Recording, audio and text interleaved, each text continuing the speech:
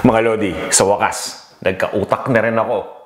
Ah, bahala kayo sa gusto nyong isipin. Ang sinasabi ko lang, may utak na ako ng baboy na pwedeng gamitin sa sisig o dinakdakan.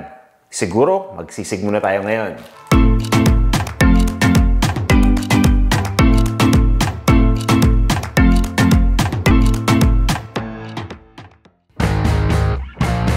Welcome sa Panlasang Pinoy!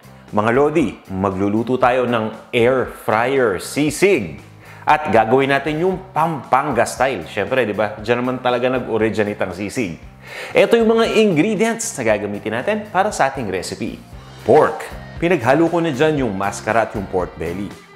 Bawang. Dinikdik ko lang yan. Cracked peppercorn o yung buong paminta na dinikdik ko lang ng bahagya. Kalamansi. Dried bay leaves.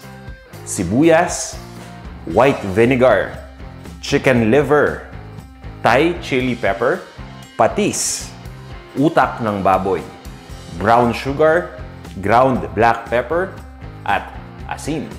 Gagamit din tayo dito ng tubig.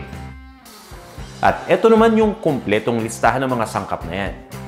Bisita rin kayo sa panlasangpinoy.com para sa kumpletong recipe. Kung handa na kayo, tara, gawin na natin to. Nilagay ko lang muna yung maskara, pati na rin yung liempo sa isang cooking pot. At hinaluan na natin ng tubig yan. Habang umiinit yung tubig, ilagay na natin yung mga ibang sangkap. Ito yung cracked na peppercorn, dahon ng laurel. Ito naman, yung bawang, at syempre maglalagay din tayo ng sibuyas. Haluin lang muna natin at tatakpan ko lang yung lutuan. Pabayaan lang natin tong kumulo. So yan, kumukulo na, no?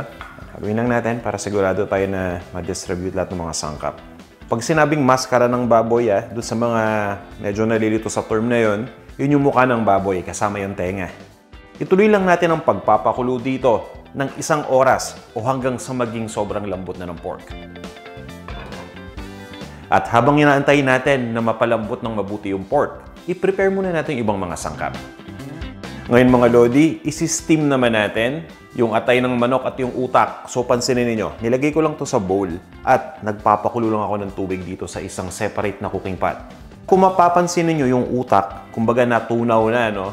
Yan ang mangyayari kapag yung utak ay nilagay ninyo sa freezer at pagkatapos ay dinifrost ninyo o thino ninyo. So walang ibang halo yan, purong utak ng baboy yan. At hindi din natin pwedeng pakuluan yung utak dahil kapag pinakuluan natin yan, sasama na sa tubig. Kaya ini-steam natin. Ganun din dun sa atay ng manok. Pwede nating pakuluan yung atay, kaso nga lang may tendency rin yan na magkalasog-lasog. Kaya isinama ko na dito. Tatakpan lang natin tong cooking pot ha. At pabayaan lang natin ang mas steam dyan na mga 10 to 12 minutes. Mukhang luto naman eh. Obviously, yung utak, lutong-luto na eh. Concerned lang ako dito sa atay kasi minsan, di ba, baka ma-undercook natin. Pinakamaganda yung lutong-luto na to. So yan, okay na rin yung loob. Naluto yan mabuti. Okay na to. Tanggalin muna natin dito sa ating lutuan. Itatabi ko lang. Tapos, i-check natin maya-maya yung pinapakuluan natin na pork. After one hour na pagpapakulo. Dapat malambot na to eh. Kuha lang tayo ng tinidor. Itong maskara ng baboy, yan, sadya talagang matabayan dahil nandyan yung cheek at syempre yung ibang fatty parts ng ulo ng baboy. Ito yung liempo.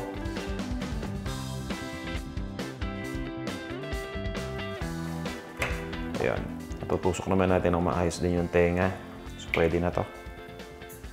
Turn off na natin yung apoy. Tanggalin na natin to dito. Papacool down ko lang muna ha. Isa-isayin lang natin. At once na mapakool down na natin ito, pwede na nating i-air fry.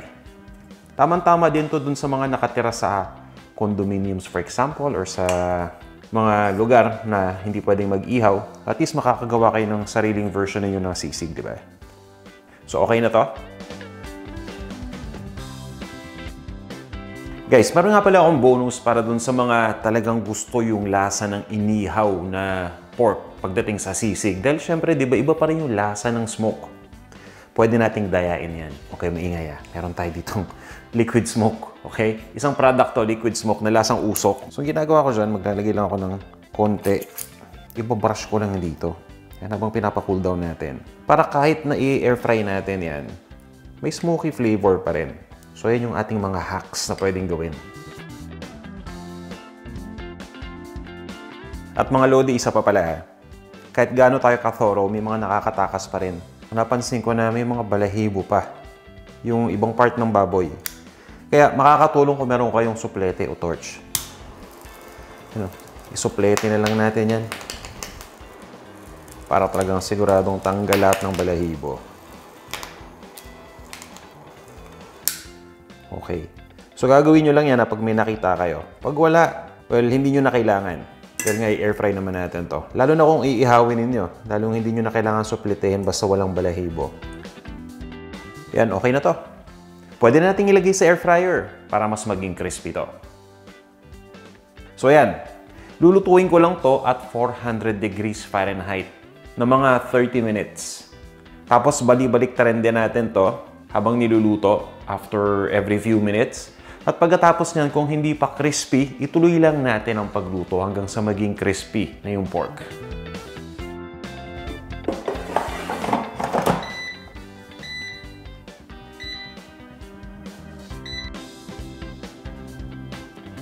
So mga lods, sa ngayon ha, habang nag-aantay, ipe-prepare na natin yung mga pampalasa dito sa sisig. I-chop muna natin itong sili. Okay na to. Tatabi ko lang. Ito naman yung sibuyas. Sa pagkakataon na to, hindi natin igigisa tong sibuyas ha. Kadalasan kasi ginigisa ko yung sibuyas kapag gumagawa ng sisig.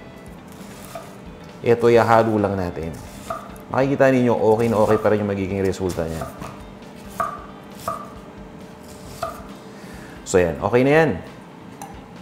Itatabi ko lang din yung sibuyas. Tapos, i-prepare na natin yung atay ng manok, pati yung utak ng baboy. Ngayon, ipiprep na natin yung mga panimpla. Ha? Pagsasamahin ko na yung atay ng manok, pati yung utak. Pagkatapos, ito, imamash lang natin. Ha? Yan, dudurugin lang natin mabuti yung atay. Importante, importante yan. Siyempre, yung utak na rin gusto natin parang maging paste yung itsura nito. Parang liver spread.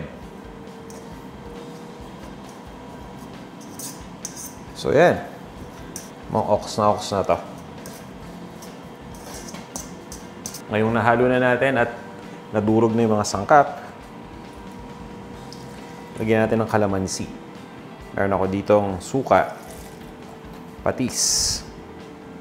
Konti lang eh. Naglalagay din ako ng brown sugar para may konting tamis.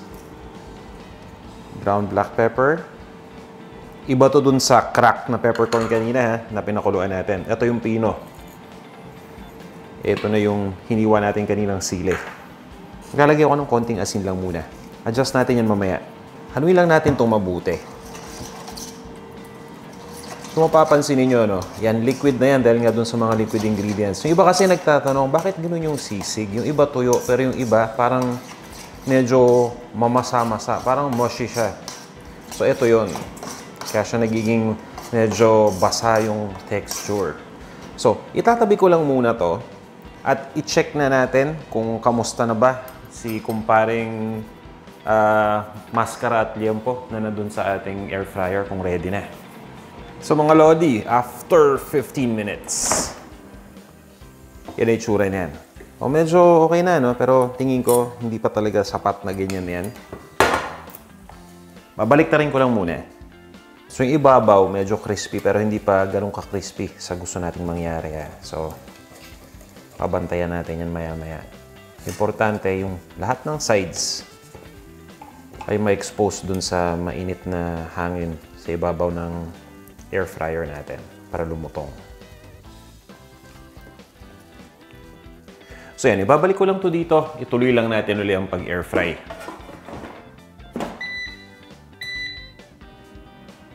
Alright, so check na natin. Pakiramdam ko okay na to eh. Ayun. So yun yung gusto nating mangyari, ano? Lahat ng sides gusto nating maging crispy. Kagaya niyan, you know. So, pabayaan lang muna nating mag-cool down ito. At once na mag-cool down na, tatadtadin ko lang tong pork. Tapos paghahaluin na natin to dun sa minix nating mga ingredients kanina na nasa bowl. Guys, after natin itong maipa-crispy sa air fryer, yan, eto na yung pagkakataon para tadtadin na natin to. So, simpleng hiwa lang, unti-untiin lang natin at pagkatapos ituloy lang natin hanggang sa mahiwa natin ito ng maliliit na peraso. Okay? Mamaya tatabi ko lang to, babalikan natin yung mamaya.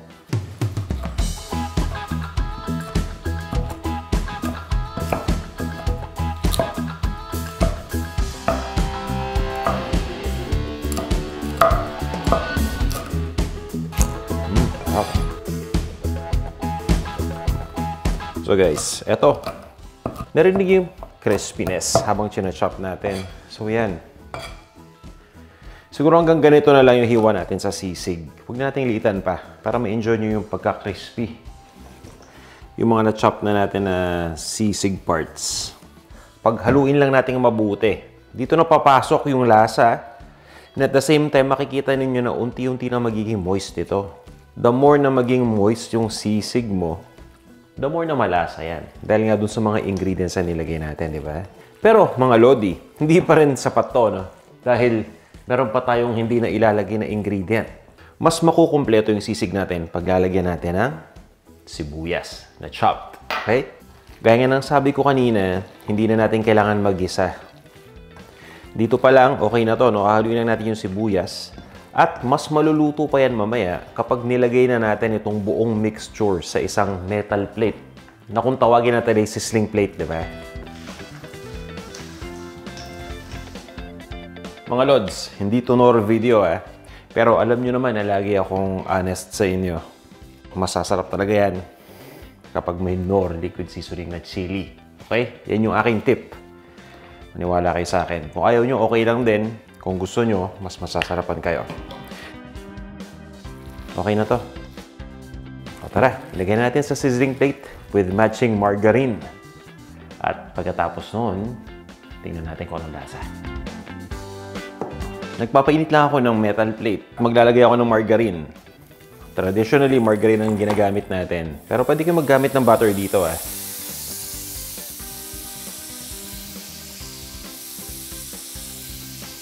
At mga lods, ilagay na natin dito yung sisig.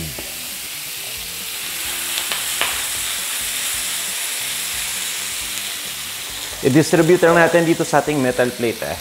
So, eto na lahat nung nagawa nating sisig. Lulutuin ko lang yan. Sandali, no? mga 5 minutes lang, maximum. Halu-haluin lang natin para mahiyang naman yung sisig natin dito sa kanyang metal plate. Eh. Tapos ibabaliktad ko lang yung pinakailalim na lagyan natin sa ibabaw. Kasi mas nagiging crispy yung nasa ilalim at may lasa ng margarine yon. Yun yung reason kung bakit kailangan nating halu-haluin. Tapos, lalagyan ko lang ito ng lime dahil nga wala akong kalamansi dito. Yung kalamansi na nakita nyo kanina, frozen yon na naka-pack. At mga bossing, alam ko yung iba naghahanap ng itlog. Optional ingredient to ah. Hindi to original sa Pampanga sisig. Kung gusto niyo ng itlog, pwedeng pwede kayo maglagay. At syempre, ng sili na rin. O yan, pagkatapos niyan, iserve na natin to.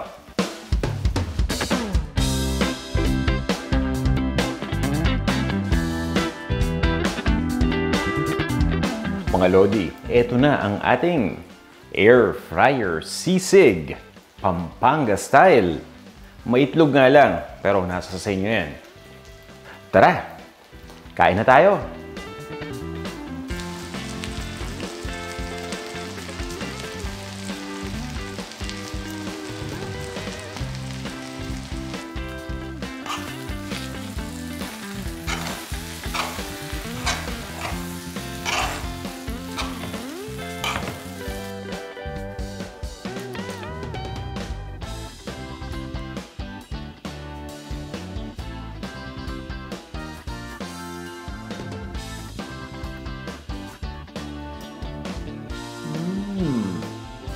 Sarap.